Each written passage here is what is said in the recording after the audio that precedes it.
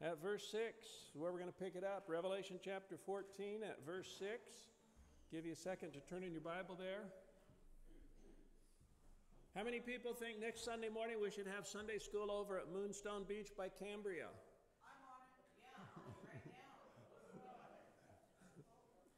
now. All right, looks like there's some momentum building for that. Yeah, there we go. Load it up. Yep. Yeah, it is. a- If, if only they used our tax dollars to build a, a high-speed rail from Fresno to Cambria.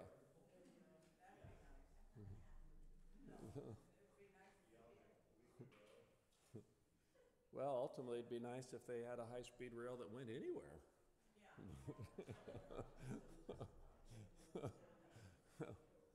I,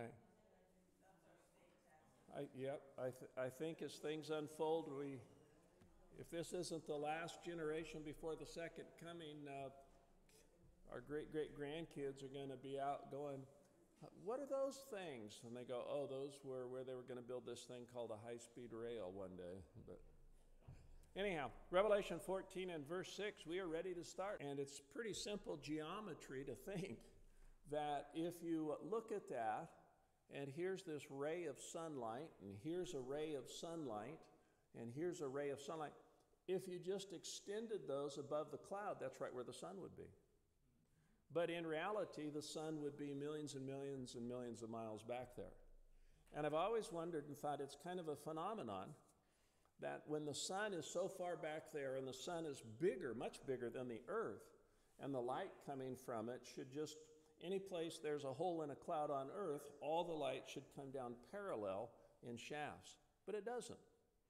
And so it gave rise, I think, maybe that's one of the reasons why people had the idea that there was stuff up there kind of at the top of our atmosphere, and that was called midheaven. And John said he saw this angel fly in midheaven.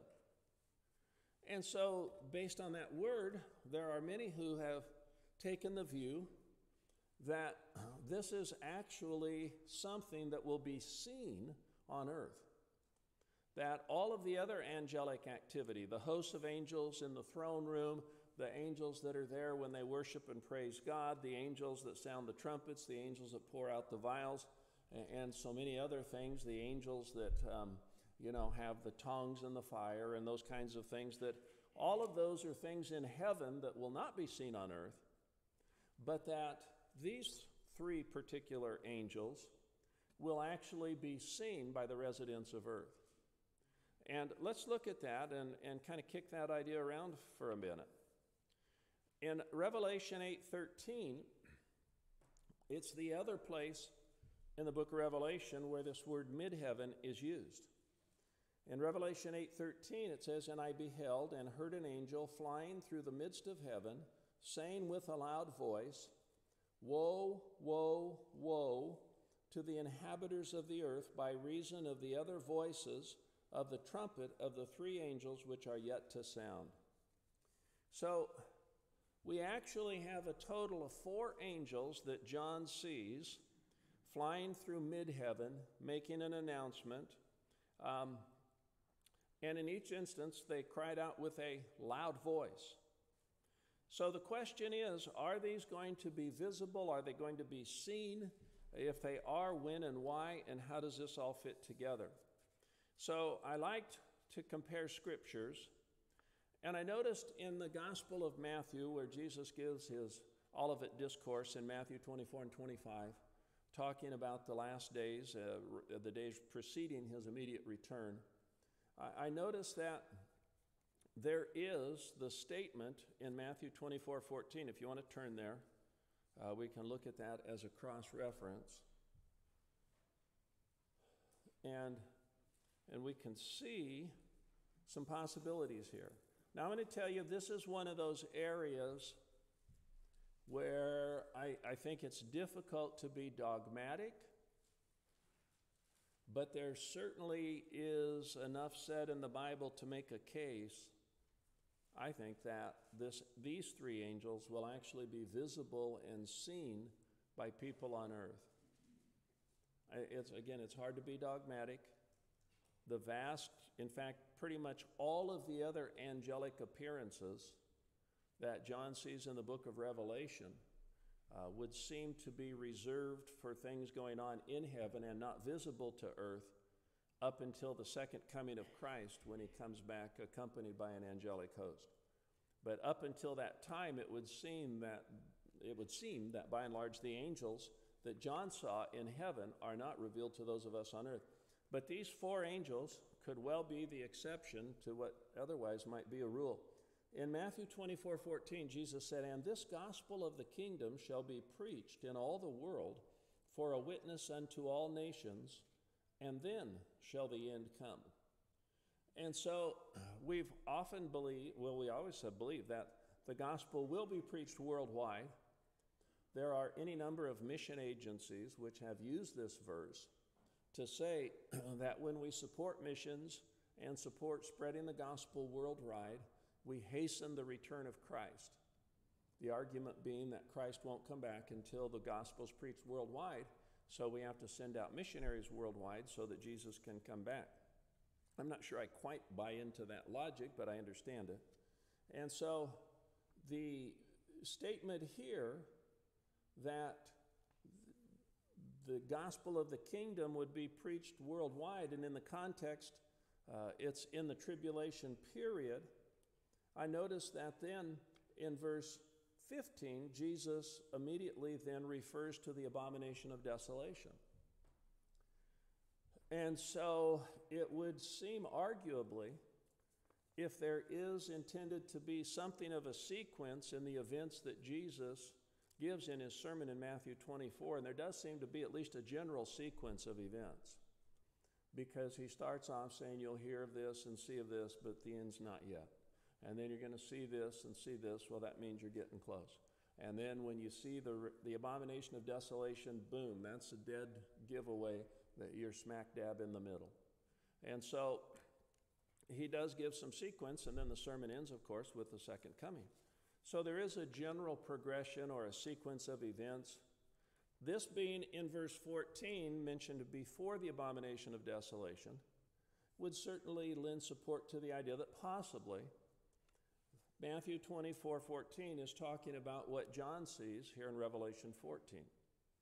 That the preaching of the gospel worldwide is not accomplished through necessarily through missionaries, though we incline to think that the 144,000 are certainly going to have a role in that. But it may also be at least partially completed or accomplished by an angel that would simply fly or circle around the earth and would be seen and heard by everyone uh, proclaiming the gospel. Now, if that's the case, if you stop and think about it, if that's the case, then you have to understand that there would have to be some kind of an accompanying miracle for everybody to hear it in their own language.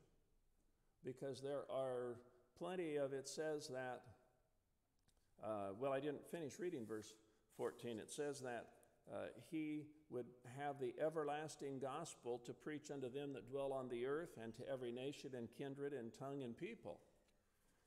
So if you're preaching the gospel to every nation, kindred, tongue, and people, and one angel's doing the preaching, and it's going to obviously be a, a time sensitive, time limited event, he's not going to be up there for hundreds of years doing it. Uh, then, as he proclaims his message, there would have to be an accompanying miracle for all the different people on earth to hear that message in their own language. And, and so it, it is somewhat mindful or similar to the day of Pentecost, where Peter and the apostles uh, speak in tongues, and these people from around the world that were Jewish people who were scattered in the, in the earlier dispersions and judgments hundreds of years earlier. They've come now, their ancestors were dispersed, but they have come to Jerusalem to keep this feast of Pentecost. And they hear, they said, um, that Peter and the apostles praising God in their own language, which they recognized as some kind of a miracle or something because uh, apparently the, the apostles had a thick Galilean accent, whatever that was. And so they recognize that they're from Galilee, they have that accent, they weren't raised in our countries. So, how could we possibly hear all of them speaking in all these different languages? Well, it was a miracle. It was a miracle of God, and Peter identified it as a miracle. And he said it's a miracle identifying the fact that the Holy Spirit's been poured out and given to us.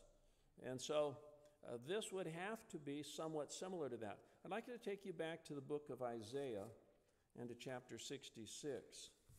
Pastor Weather, in Isaiah, isn't it also in Acts where they went up to the upper room with the, the, the speaking in tongues, the Holy Spirit? Well, the no, it, it, it the question is um, the upper room while they were waiting for the day of Pentecost. Was there any involvement with speaking in tongues there? And the, sh- the short answer would be no. That did not begin until the day of Pentecost. Okay, it's the, the gift of speaking in tongues is mentioned on the day of Pentecost in Acts 2. It's inferred uh, when the Samaritans get the Holy Spirit in Acts chapter 8. It's specifically mentioned in Acts chapter 10, and Peter explains it in Acts 11 why it happened. And then it occurs again in Acts chapter 19 when Paul meets some uh, disciples of John the Baptist at Ephesus. And then it's mentioned at the church of Corinth. It was also predicted to occur in Mark 16, chapter, verses 17 and 18, but those are the only places it's mentioned in the Bible.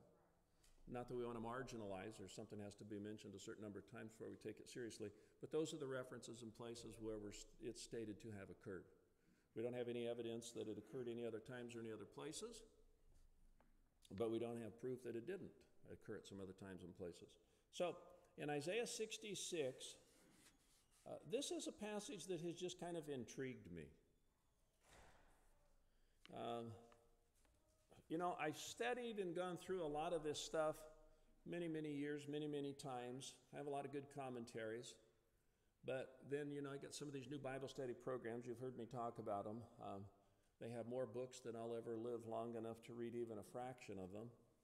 And now, one of my other uh, Bible study programs, Logos, bought that whole thing, and they're transporting all those books into Logos. So I will have just in my Logos Bible study program well over 4,000 books that I can access on my computer. And if you get eSword and start downloading the free stuff, you can add another couple thousand volumes of study books for free. And so, as I said, they, you have available on the internet more resources than you can probably ever live long enough to use. But it's nice to have them, and I, since I do have them, I like to go back over my notes, and instead of just instead of just printing off some notes from yesteryear and saying, "Well, that's all done," um, I like to go back and do every lesson. I like to print out the text and study through it and go through it. Uh, and after I'm all done doing it all over again, then I like to look at my old lesson and compare and see how it compares to my thoughts from maybe several years ago. Well, in doing that, in one of my Bible study programs, they cross referenced Isaiah 66 19, which I must confess I've not really studied uh, to any great degree. And so, Jesus here in, or I'm sorry, the prophet Isaiah in verse 19 said, And I will set a sign among them, and I will send those that escape of them unto the nations, to Tarshish, Pul, and Lud, that draw the bow, to Tubal and Javan, to the isles afar off, uh, that have not heard my fame, neither have seen my glory, and they shall declare my glory among the Gentiles. And they shall bring all your brethren for an offering unto the Lord out of all nations upon the horses and in chariots and in litters and upon mules and upon swift beasts to my holy mountain Jerusalem, saith the Lord, as the children of Israel bring an offering in a clean vessel into the house of the Lord. Now, in verse 18, he, he laid the context when he, he rebukes their idolatry. And he's saying that there are those who are secretly practicing idolatry. But in verse 18, the Lord says, I, I know their works and their thoughts, meaning their sinful thoughts, their secret sins. And it shall come that I will gather all nations and tongues, and they shall come and see my glory. And then the Lord said, I will set a sign among them. So the big question here is, what is the sign? And I went through a lot of Old Testament commentaries and references, seeing what other people who'd studied this has concluded was the sign. And the sum total of what I found out is nobody really knows for sure. so, after a lot of time sitting at my computer reading a lot of material, we came to the conclusion that we're not really sure. Now, there's a lot of ideas, and it's almost like this is in the category of who is the Antichrist or what's his name, the mark of the beast kind of thing, where when people see that, they just cannot resist coming up with a theory. Um, and they just cannot resist taking a guess or a whack at who it might be. And, and so there's plenty of ideas and suggestions, but many people focused on Matthew 24, where it says at the second coming that God said, then he would give the sign of the coming of the Son of Man, which most people think is the actual appearance of Jesus himself in the heavens before he comes down to the earth. But that really doesn't work here because he said he's going to set a sign. It can't be the second coming because he said, then those that escape will go to the nations and they'll preach the gospel, in essence, to the Gentiles who haven't heard. That just doesn't fit in with the second coming. I mean, at the second coming, the Bible says the angels go out and gather all the unsaved to the valley of judgment there at Israel. So, who are those that escape, and what is this sign? And they've got to go and they've got to preach the gospel, and people have to be saved. And then these people that get saved ultimately will come to Jerusalem to hear the to worship the Lord because they heard the gospel, they got saved, and, and now they will come to worship the Lord in Jerusalem. So, to me, the sign seems to fit a whole lot better uh, around a lot of the events of the middle of the tribulation or thereabouts. Uh, because if the sign is given, whatever it is, it's going to be something that's going to be staggering and stunning to the world. And then he said, Those that escape uh, but who are they that escape? So, so as I've studied this, I just want to kick around a few options on this. And I think you might think about it and pray about it. And you might actually come up with some ideas. Uh, there's a lot of Old Testament cross references, and I confess I did not have time to trace down every possible cross reference uh, that I had in the Old Testament. If you look at the, the, the Bible cross reference systems in a study Bible, they'll take you to this reference, which takes you to two more references, and each of those takes you to two or three more references, and those take you to two references, and and it, pretty soon it just keeps spreading out and out and out. It gets, can get pretty massive. So I haven't traced all of the suggested cross references. I looked at some, and I wasn't sure why they were even listed as cross references. I didn't see the connection. But the sign, there's some possibilities here. One thing that the Bible says we have the seal judgments in the first half of the tribulation, the revelation of Antichrist, and I believe in the first year of the tribulation that Russia invades Israel and they sweep through the Middle East, North Africa, and set up a military base there in Israel. And the Bible says that God rains down fire and brimstone and destroys this Russian Confederacy and their army and he also burns the motherland where they came from, and that five sixths of the people in the motherland are also destroyed in this judgment. And he says that he burns those that dwell carelessly in the isles, that is, in the far coast from Jerusalem or from Israel. He burns them with fire as well in this judgment. Now, that could well be a sign in the first year, and that could well be referring to where God says, I'll gather nations uh, in other words, he's going to let this Russian Confederacy sweep in through the Holy Land. He's going to destroy them. Well, that's clearly going to be a sign. And it well could be that that's the sign Isaiah is talking about. And that those who have escaped this fire and brimstone raining down and destroying this Russian Confederacy, that sign could well be a catalyst that triggers the salvation of the 144,000 who in turn are involved in preaching the gospel worldwide. That's possible. It's also possible that the angels flying through the midst of heaven around the middle of the tribulation could be the sign. That the Bible talks about God's will give signs in the heavens above and signs on the earth. And that well could also be a sign. When I look at the uh, announcement of the three angels and the sequence of their announcements.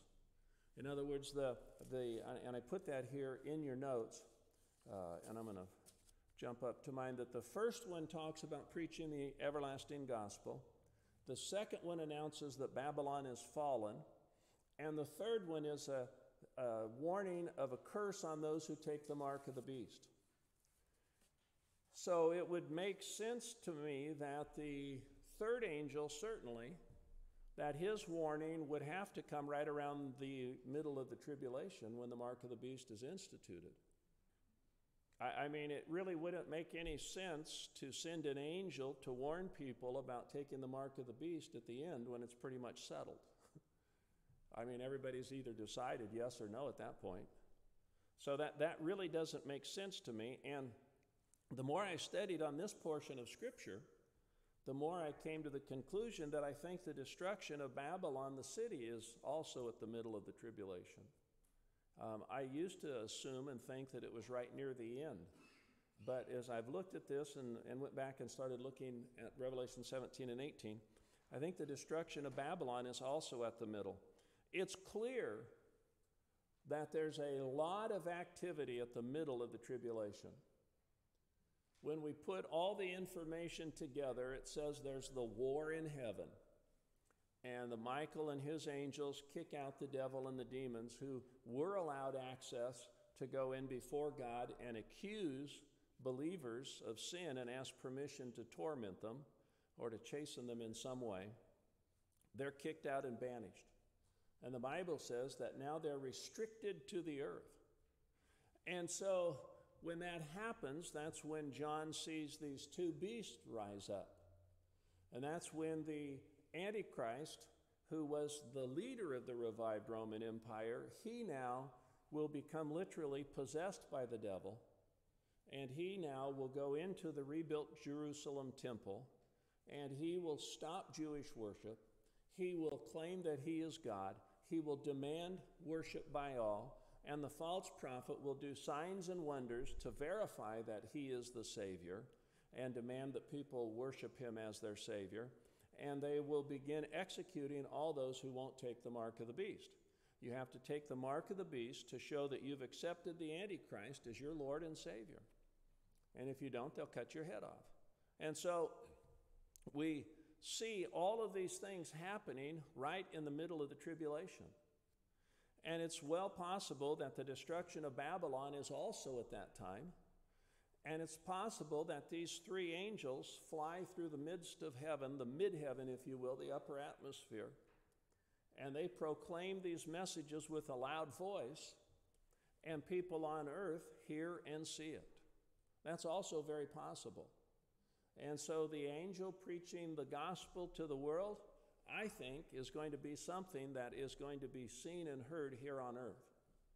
Now, some would say, well, the angel makes his announcement and it's commissioning the 144,000, and they're the ones talked about in Isaiah 66 that escape and they go out and preach the gospel. I'm more inclined to think it's both. But again, I can't be dogmatic about it. But I'm more inclined to think the 144,000 are going to be involved in evangelism.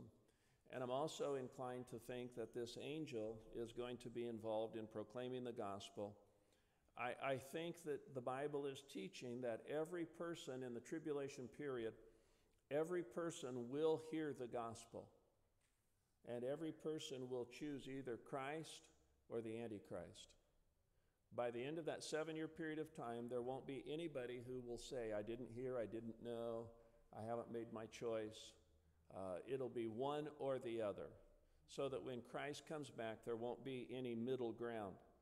So I love studying prophecy, and I think it's fun to compare those verses. You might study them and think on them and decide what you think the sign is in Isaiah 66.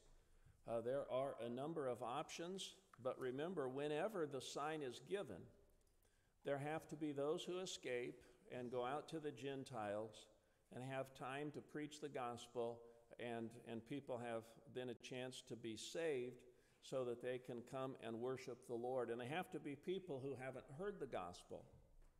So we got to kind of factor all those pieces in together. And I have to say this also the more I study prophecy, the more I recognize that in one sentence, where two or three things are given in a sentence, there can be time gaps between those things. The fact that two or three things are mentioned in a sentence doesn't mean they all occur just boom, boom, boom at a row or right together. And that's a principle we learned from Daniel 9, where he said there's 70 weeks. Here's the start, Nehemiah 2. Here's the first 69 weeks. Then Messiah comes. He's cut off, but not for himself.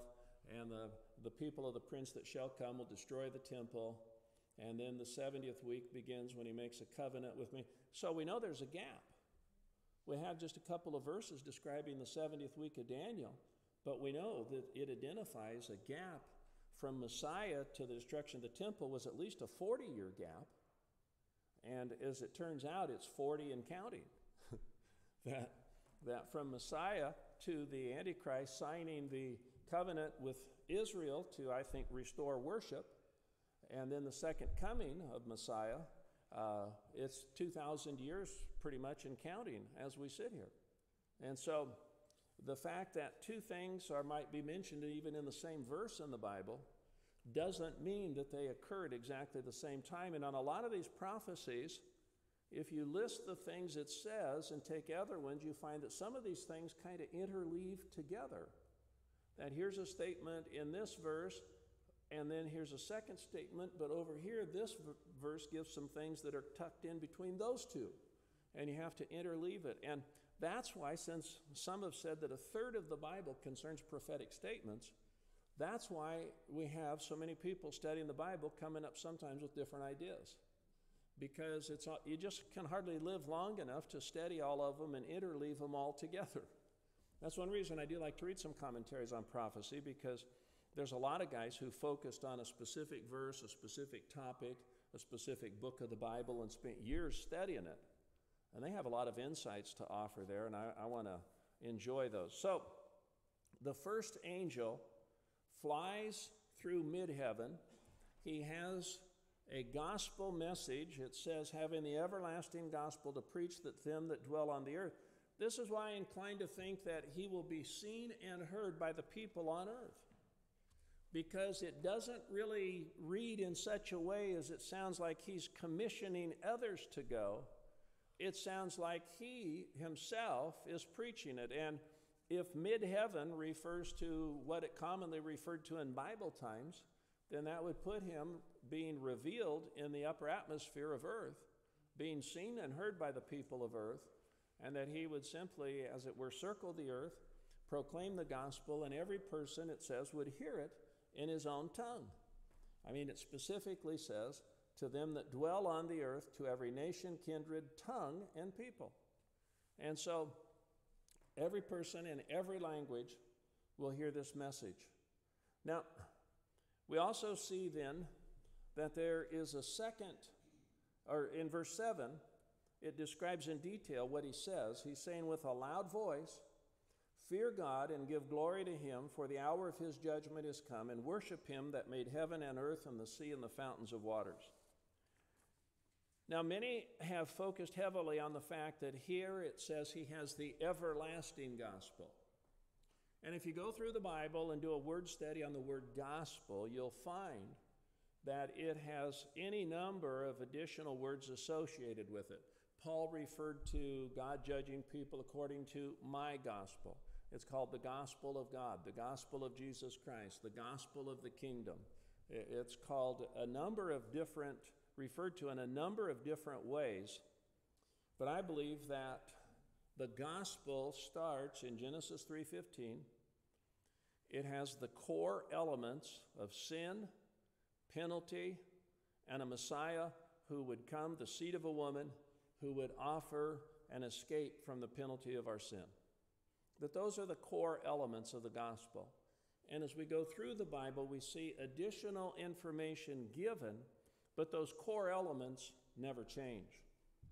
And so some look at this and have said, well, because the word the doesn't occur in front of this reference to the gospel, that it's not really a gospel. Well, I, I- would have to say, well, the word gospel means good news.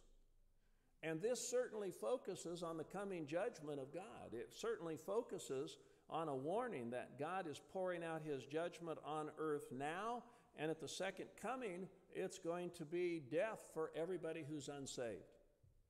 So we know that, that the warning component is here and it's powerful. But when I read in commentaries that they say, well, this isn't really a, a, a gospel, it's just an announcement of doom. But as I said, the word gospel itself means good news.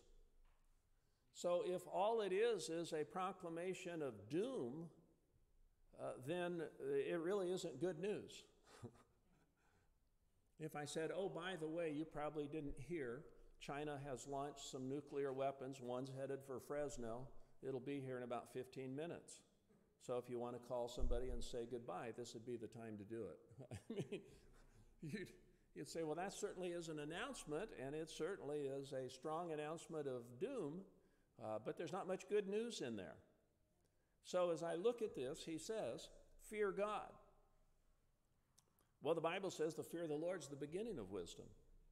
We know that when we read in the New Testament, the fear of God is certainly referred to numerous times. And the reason you should fear God is because we've sinned and are condemned, because the wages of sin is death. And so when this angel calls upon people to fear God, he certainly has tucked in there the inference of sin and judgment and condemnation. And when he says, Give glory unto him, I believe that is translating into the idea of admit your sin, and you need to seek forgiveness through faith in Christ. Now, there have been the two witnesses there in Jerusalem, and they have been preaching. There's been a lot of media coverage, undoubtedly, for uh, the Bible and things the Bible says. And he continues, he said, For the hour of his judgment is come. And, and I think when he says, Fear God and give glory unto him, for the hour of his judgment is come, I think he's saying, And do it now. Don't be putting this off. You can't keep kicking the can down the road on when you're going to deal with your soul in eternity. And then, fourthly, he says, and worship him. So, in order to worship God, you can only do that by receiving the Son. Because Jesus said, No man cometh unto the Father but by me. So you have to come to the Father through the Son. And I don't see this announcement of good news as contradictory to anything else that we see preached uh, or referenced in gospel preaching. Uh, I just see it as the angel kind of dialing down the focus to the people on earth and, and giving them a straight, solid challenge, if you will, that uh, maybe you've delayed, maybe you haven't heard, maybe whatever. But the time to make a decision is now because God's judgment is upon us. And so we don't know that there isn't additional information given, but we know certainly this is the heart of his message. I see it as completely compatible with the other uh, information we have in the Bible about the gospel. And I think it is an announcement of good news uh, because worship him. If this was just a message of doom, if this was just a message saying basically uh, God's judgment has come and your goose is cooked, well, that, not only would that not be good news, why would an angel say, Fear God, give glory to Him, and worship Him if people couldn't repent and do that? And if it was at the end of the tribulation and everybody's either taken the mark or already decided to serve Christ, uh, it would be kind of a pointless time to announce it at that time. So that's why I think this happens somewhere around the middle of the tribulation, possibly even earlier. And then there are two more angels that follow. Now, it doesn't mean that you look into the heavens and there goes angel one, here comes angel two, and here comes angel three. The three angels could appear in separate appearances. Uh, that's possible. Uh, most of the attention has been focused on the first angel in the gospel. Uh, very little attention in the commentaries was given to the idea that the second or third angels might be visible or seen or heard on earth. They were viewed simply as announcing information for John to include in his book of Revelation. But it says in verse 8, and there followed another angel, saying, So if the first angel flies through mid heaven and the second angel follows him, and mid heaven is actually the upper atmosphere of the earth, and this angel followed him, it seems to me that the point is that he's there and visible and seen as well. And he says, Babylon is fallen, is fallen. That great city, because she made all nations drink of the wine of the wrath of her fornication. I've never really studied a lot to try and nail down uh, when the fall of Babylon is. Uh, but looking at these three angels and when uh, they might make their announcements and the timing of it has kind of led me uh, to lean heavily towards Babylon being destroyed at the middle. It would make sense to me that when the Antichrist and the false prophet come on the scene, and the Antichrist wants to proclaim that he and he alone is God, that this Babylonian system of worship really becomes competition. If you go back to the Tower of Babel, and Alexander Hislop wrote a book on this, although I want to hasten to add, Hislop in his book made a number of assertions where he took the facts of how the Babylonian religion has spread out on a worldwide basis, and he gives some good evidence for that. He has made some leaps from there into arguing that, like Christmas and Easter, are part of the Babylonian religion, uh, which has really been debunked since then. I know that I know it's popular. I know a lot of Christians uh, that believe, uh, based on Hislop's book, that Easter and Christmas are pagan holidays. Uh, I think that his book is completely wrong. He doesn't offer any proof or evidence to verify that, and since then, I think others have shown that that's just not fair. But aside from that, his book on the two Babylons, showing in Babel and Nimrod, uh, and how the mother son cult of worship spread throughout the world, and the elements of it that you find in Greek and in Roman, and then down into Egyptian and Assyrian, and just all these other world religions, how you just find evidences of the same thing. And by the time of the New Testament, uh, these were referred to as the mystery religions. And in fact, it one of the churches was warned because it said Satan's going to come and set his seat there. And in point of fact, uh, we know that leaders of this, these mystery religions uh, left the east, like the area of the region of Babylon, the city itself, and came and settled there in that region on the Mediterranean. So there's a lot of evidence and a lot of historical background to that. And Babylon is pictured both as a system, a, a, pagan system that has been around for hundreds and hundreds and hundreds, if not thousands of years. But in the book of Revelation, the focus comes down to the city, which becomes the headquarters for that Babylonian religion in the tribulation period. And it, it, to me, it just would make sense in 17 and 18, when we get there, we'll see that it says the ten kings burned the city of Babylon, this headquarters, with fire. It would make sense to me if the Antichrist comes on the scene and says, I'm God, everybody has to worship me, that Babylon could well be viewed as competition to people worshiping him. And so that he has the kings of the earth that support him in this revived Roman Empire burn it with fire. So the, when it says Babylon is fallen, is fallen, some say, well, repeating something is just a rhetorical device for emphasis, meaning it's fallen, and I mean boom, done, gone, over, completely obliterated. So doubling it like that could have that uh, meaning, but it also could have the idea that it's uh, referring to both the system which has been around for thousands of years, and the city where it's currently headquartered, which will be crushed and destroyed in the tribulation period. So, again, it, it makes the most sense to me on timing this that it would be a mid trib, right in there event. Uh, I haven't found anything yet where I can say it really dials it in, just boom, right here. But at least I think that's probably uh, when it occurs. I, at first, I thought it was really part of the end of the tribulation and associated with the second coming of Christ, but the more I've read and studied it, the more I've realized no, that's not really correct because uh, there's a bunch of stuff that is said to occur after the destruction of Babylon. So that you still have the ten kings, you still have the merchants, you still have this and that, and people bemoaning it. So if this happened like right at the second coming of Christ, none of that would occur. Uh, there wouldn't be any of that stuff going on.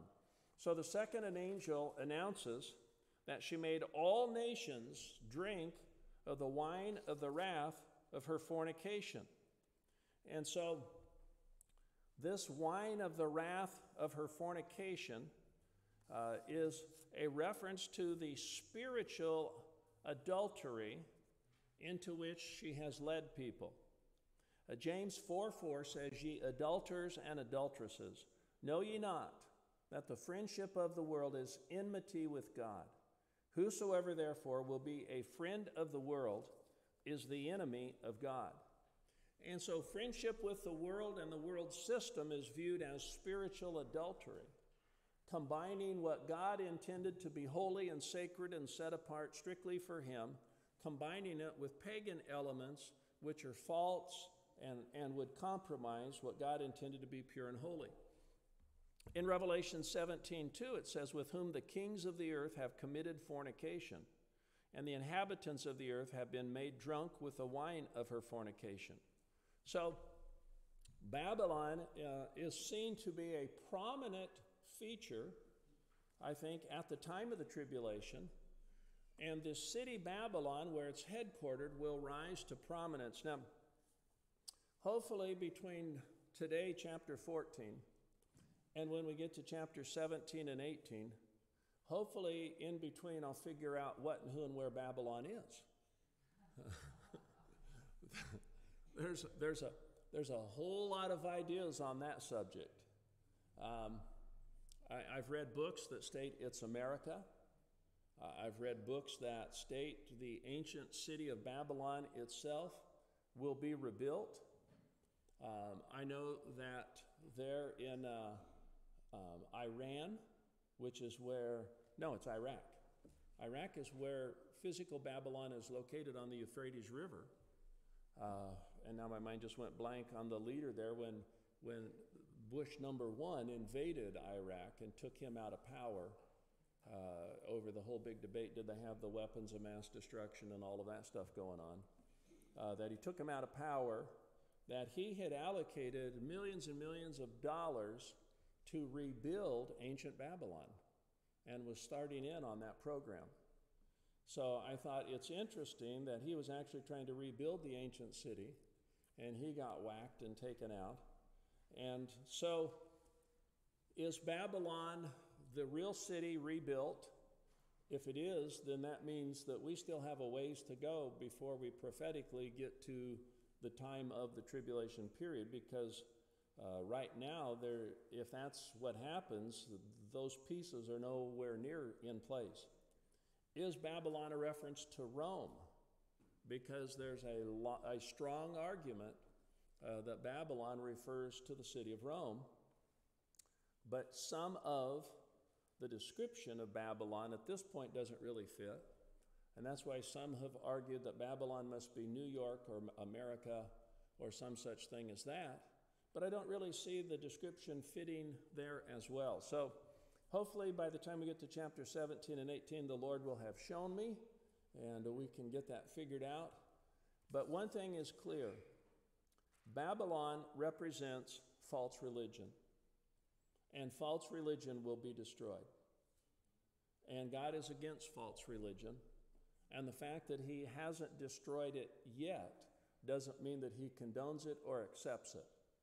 It means that he has delayed judgment because the fact is is that millions and millions of people will be in heaven who were once in false religions or their parents or grandparents were in false religions And so, if God had destroyed those things in the past or already, then a lot of us wouldn't even exist. And so, God has allowed those things to exist, but it doesn't mean He condones them, and the Bible gives a clear warning they will be destroyed.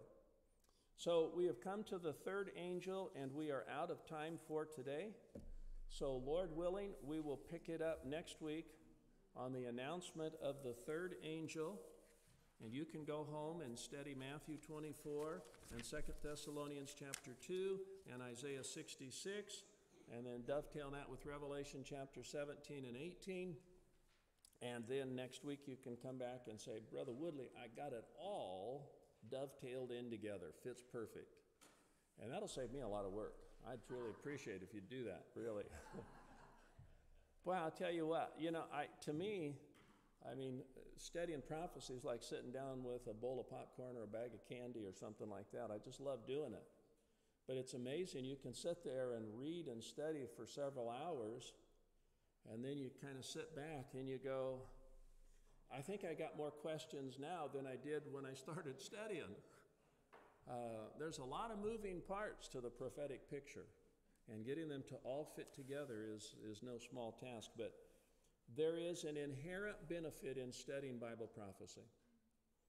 Whether or not we get all the pieces and parts to fit together perfectly, whether or not we come to the place where we really understand everything that's humanly possible for us to understand right now today, whether we ever get to that point or not, the Bible says just studying prophecy makes us think about the future, makes us think about heaven, and it motivates us to start living a holy life in preparation for eternity with the Lord. So there's an inherent value in studying Bible prophecies. I know sometimes people say, well, Pastor, if you don't know all the, if you don't know who the Antichrist is, if you don't know the mark of the beast, if you don't know this, if you can't tell us the day, if what's the point in studying all this? Well, just God put tons of this stuff in there for us to read and study to motivate us to holy living. He didn't put this all in here so that just one group of people right before the second coming could read and enjoy it and study it and say, oh, yeah, we get it. He put this in here so every Christian in every country, in every age, and in the Old Testament, what they had there, could have this to study it and read it and challenge them to prepare for eternity with God. Father, we thank you and praise you for the word. And Lord, we just pray the Holy Spirit will help us to understand as much as we can. But we do, uh, Father, claim your promise that it will motivate us and challenge us and encourage us to holy living. May it be so in each of our lives today, I pray in Jesus' name. Amen.